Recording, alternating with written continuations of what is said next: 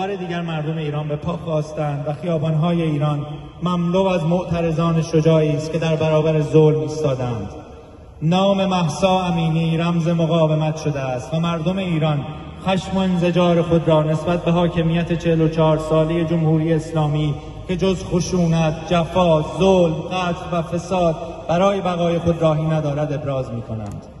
ایرانی ها خیابان های هر روستا و شهر ایران را با یک خواسته مشترک پر کردند. آنها دیگر رژیم جمهوری اسلامی را نمی‌خواهند. مرگ بر جمهوری اسلامی بر جمهوری اسلامی جمهوری اسلامی در مقابل جمهوری اسلامی با خشونت وحشیانه به سرکوب معترضین بیدفاع با گلوله های جنگی پرداخته. ارازل و اوباش لباس شخصی رژیم شهروندان غیر مسلح را وحشیانه سرکوب می کند.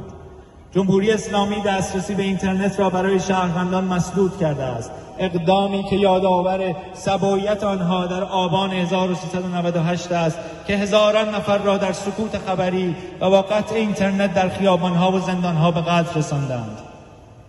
آنچه باید انجام شود. یک رفتار خشونت آمیز جمهوری اسلامی را محکوم کنید دو از شبکه های اجتماعی بخواهید به دور زدن سانسور، فیلترینگ و فراهم کردن زیرساخت ها برای دسترسی رایگان به اینترنت در ایران کمک کنند. سه با خودداری از صدور ویزا برای مقامات جمهوری اسلامی اجازه ورود این جنایتکاران را به این کشور ندهید. چهار تحریم های مگنسکی را علیه عوامل و اعضای اصلی سپاه پاسداران جمهوری اسلامی ایران و آمرین سرکوب ها اعمال کنید.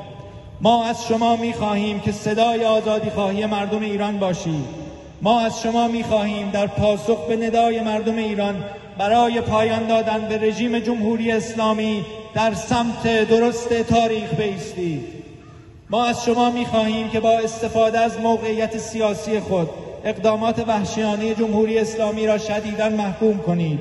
ما از شما می خواهیم که در کنار مردم ایران بیستید که در کوی و برزن شعار می‌دهند. زن زندگی آزادی. زن زندگی آزادی!